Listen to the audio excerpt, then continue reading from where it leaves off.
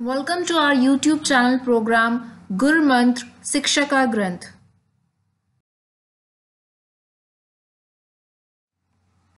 If in any way this channel is helping you, please subscribe, share and like our videos and make your contribution in free education mission. For official page of Gur Mantra, please visit this address. And if you have any kind of feedback, do share it in comment box. These are the three addresses which can be very much helpful for you guys. This is my official Facebook page and this is the uh, link for YouTube channel of Gur Mantra where you can subscribe yourself this is the address for Gur Mantra website जहाँ पर बहुत सारी standard e books present हैं module wise e books present हैं बहुत सारे domain से related बहुत सारे सब्जेक्ट से रिलेटेड आप चाहें तो फ्री ऑफ़ कॉस्ट जो है पीडीएफ वर्जन उनका डाउनलोड कर सकते हैं उनका मैक्सिमम बेनिफिट ले सकते हैं Alright guys, today's topic of our discussion is cell cycle control and regulation and this is our very first part. Had gone through various check points check points हम already discuss कर चुके हैं. Fine basic and important features जो हैं हम stage के पढ़ चुके हैं. सेल साइकिल एग्जैक्टली क्या है?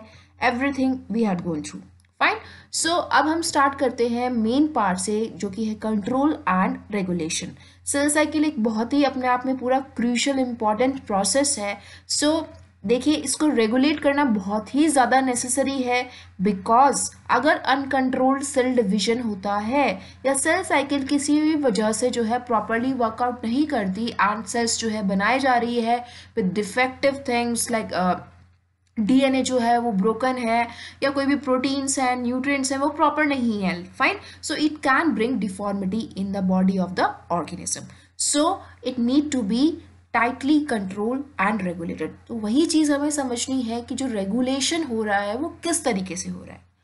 फाइन गाइस देखिए अगर मैं बहुत ही आ, सरल भाषा में आप लोगों को कहूँ तो सबसे पहले तो हमें कुछ भी टॉपिक पढ़ते हैं सो उसका एक सिग्निफिकेंस या फिर उसकी एक नीड जो है वो हमें पता होनी चाहिए। फाइन सो so, सबसे पहला क्वेश्चन अराइज होता है कंट्रोल एंड रेगुलेशन हम पढ़ रहे हैं that is very fine but what is the need to control and regulate cell cycle fine obviously जैसा कि मैंने आपको बताया कि अनकंट्रोल डिविजन जो है it can lead to harmful effects oh is missing here sorry for that harmful effects में से एक सबसे बड़ा हार्मफुल इफ़ेक्ट क्या है? कैंसर का कि कैंसर ट्यूमर्स अराइज हो सकते हैं अगर अनकंट्रोल्ड डिविजन सेल का होता है तो।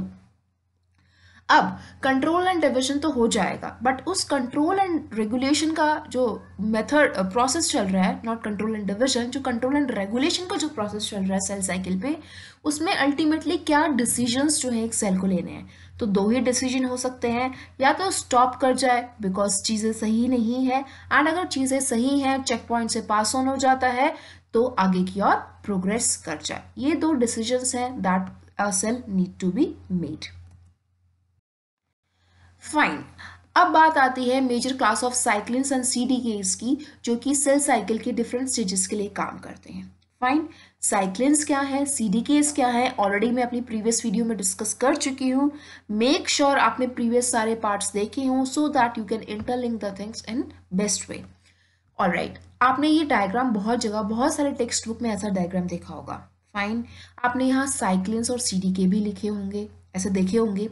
स्टेजेस के बारे में हम डिस्कस कर चुके हैं। अभी जो साइक्लिन और सी डी की मैंशन है यहाँ पर we will study about them fine and C D K I क्या है, ये पी आर बी क्या लिखा है, ये पी पी पी क्या शो हम सब कुछ देखेंगे फाइन तो सबसे पहले हम थोड़ा सा कंसेंट्रेट करते हैं cyclins and C D Ks के ऊपर। बिकॉज़ साइक्लिन्स क्या है? These are regulatory part C D K क्या है? कैटालिटिक पार्ट है, जो कि सेल साइकिल के रेगुलेशन में मदद कर रहे हैं। Basically we will focus on three cyclins G one cyclins S cyclins and M cyclin और जो सी डी के हम पढ़ने वाले हैं साइक्लिन डिपेंडेंट काइनेस उसमें हम चार सी डी केस को देखेंगे वन टू फोर सिक्स जो कि अलग अलग स्टेजेस में ये साइक्लिन्स और सी डी केस का कॉम्प्लेक्स बनता है। Fine guys most of the time questions जो है साइक्लिन्स और सी डी केस में से आते हैं।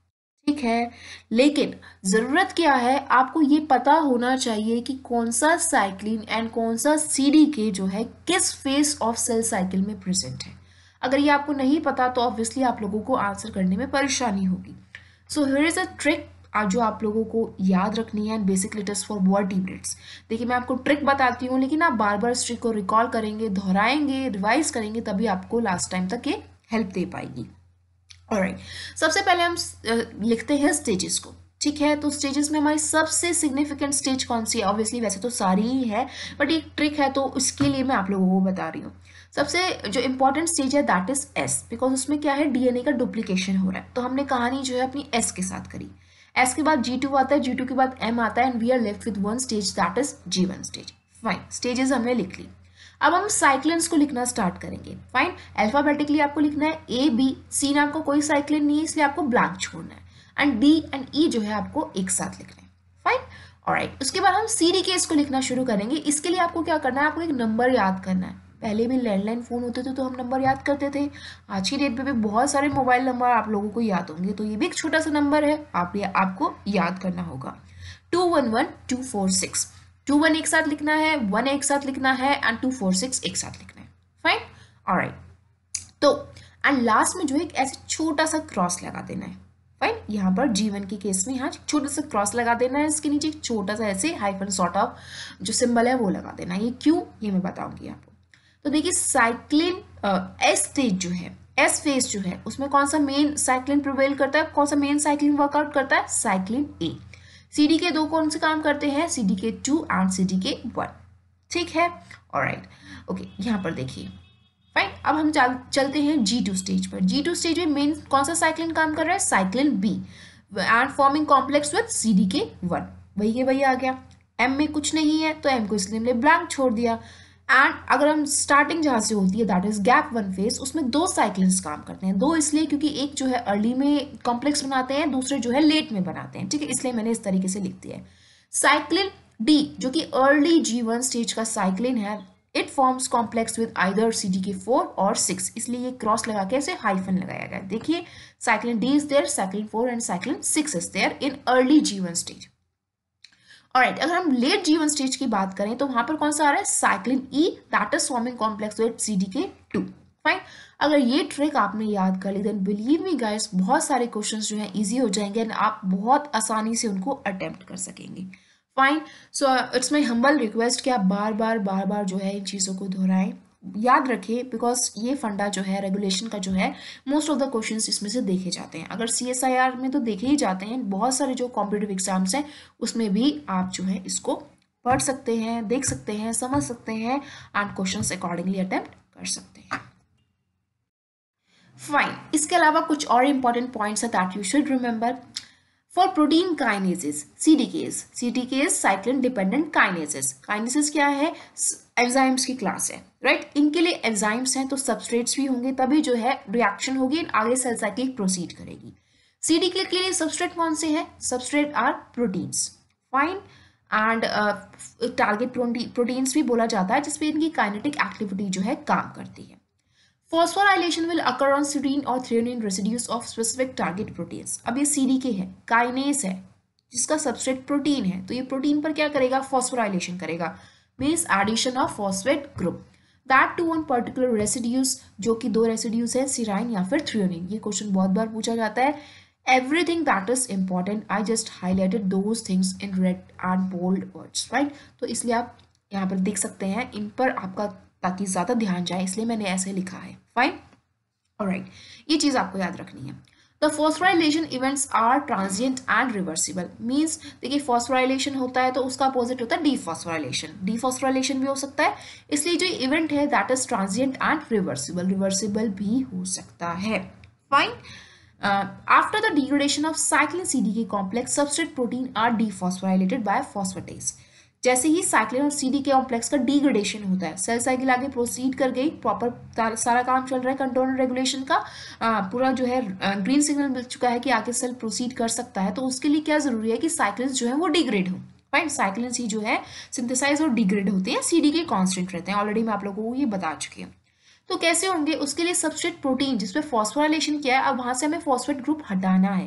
मीन्स डी फॉस्फोराइलेशन करना है। तो वो कौन सी क्लास ऑफ़ एंजाइम करेगी? फॉस्फोटेज काइनेस का उल्टा इज़ फॉस्फोटेज काइनेस आर्ट कर रही है फॉस्फोराइलेशन कर रही है तो फॉस्फोटेजेस क्या कर रहे हैं? डी फॉस्फोराइलेट करिए D E means removal of phosphate group अगर हम मेमिलियन सेल्स की बात करें तो there are basically sixteen cyclins ये साइक्लियंस का नाम लिखा हुआ है ऑब्वियसली आप लोगों को याद करने की ज़रूरत नहीं है बट हाँ अगर आप नॉलेज अपनी एनहेंस करना चाहते हैं आगे इंटरव्यू सॉर्ट ऑफ़ थिंग्स में जो है इसको यूज़ करना चाहते हैं तो you are most welcome to learn all of these cyclins names And if we talk about uh, CDKs, there are nine CDKs that are present in mammalian cell. That is CDK1 to CDK9, like 1, 2, 3, 4, 5, 6, 7, 8, 9.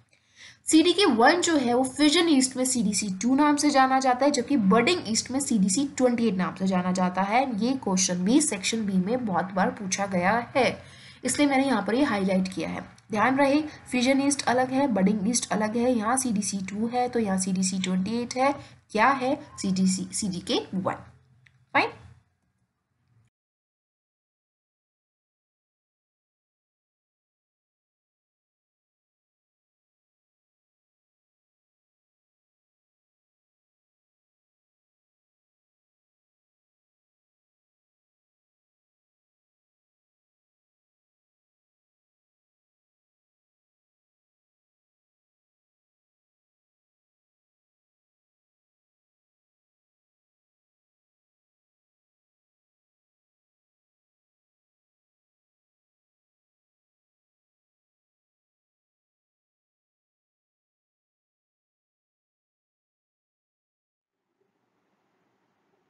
Thanks for watching our video. To subscribe on our channel, please press the subscribe button given below the video.